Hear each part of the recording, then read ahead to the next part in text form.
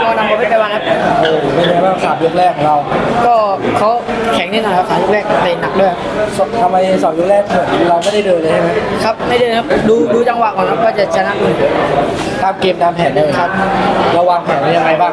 ก็จะเดินยกสามยกสี่อยู่แล้วก็ทำได้เลยยุคสามครัยุบคสี่ได้อะไรบ้างวันนี้เราไปได้วันเดียวเองมาเทน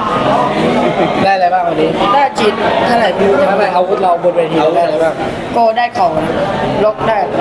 ได้ความแข็งแรงแล้วยกสุดยกยกที่ห้าเราออกไปทำเพียงแค่หนึ่งนาทีครับทำไมถึงตัดสินใจถอมั่ยนใจอยู่แล้วเพราะยกสามยกสี่ได้เยอะครับ เดินแข่งได้เยอะ แล้วตอนที่เขามาลักไก่ใส่เราเออก็ ยู่แล้วผมยกกังเอ้ยคือหมดหมดยกเนี่ยกังวลไหมไม่กังวลเลยเลยมั่นใจเลยครับแล้วก็ทำได้สำเร็จเลยครับชนะติดต่อกันมากี่ไฟล์แล้วครับนี่ครับคุณจะไฟล์ที่แล้วแพ้มาแพ้มากี่ไฟล์แพ้มาไฟล์เดียวแพ้มาไฟล์เดียวแล้วก็มาชนะ